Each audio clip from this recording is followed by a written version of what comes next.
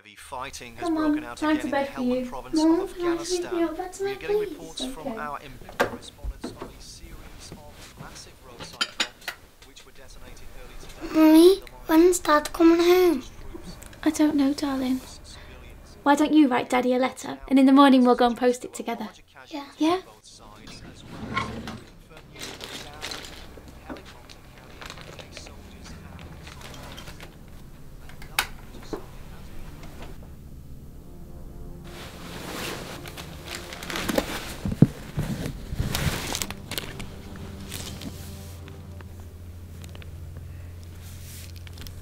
From our embedded correspondents of a series of massive roadside bombs which were detonated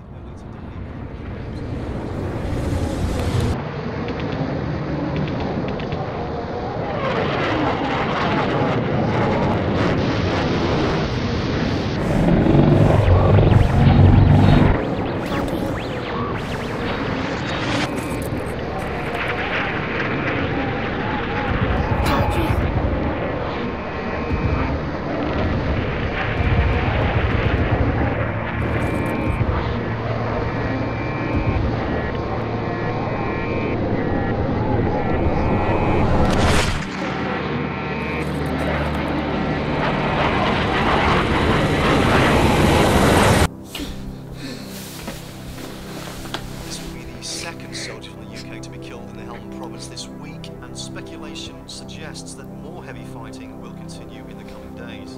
Uh, new reports are now coming in to suggest there were larger casualties on both sides.